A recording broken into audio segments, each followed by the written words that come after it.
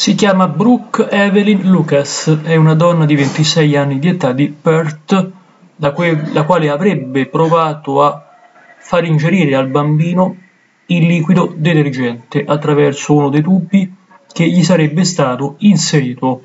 In buona sostanza la donna in questione avrebbe provato a far fuori il figlio che purtroppo era gravemente malato di 13 mesi di età.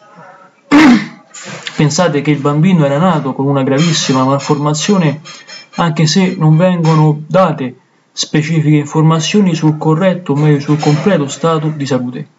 Una malattia che però avrebbe reso già altri piccoli problemi, sempre a livello di salute ovviamente, ancora più gravi, ancora più incisivi.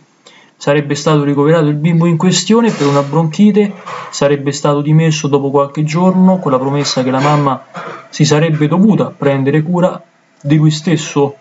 Ma come ci informa il Daily Mail, il bambino sarebbe stato soccorso in tempo, portato di nuovo in ospedale dove la mamma sarebbe stata querelata per tentato omicidio, un reato in piena regola. La 26enne starebbe affrontando il processo a suo carico che la vede imputata in questi giorni di tempo al quale si sarebbe però presentato in lacrime e avrebbe detto di non aver avuto alcuna intenzione di far fuori il bambino. Tuttavia, anche se in gravissime condizioni, vivo, il bambino è vivo e adesso verrà affidato a qualcuno che effettivamente potrà prendersi cura di lui stesso.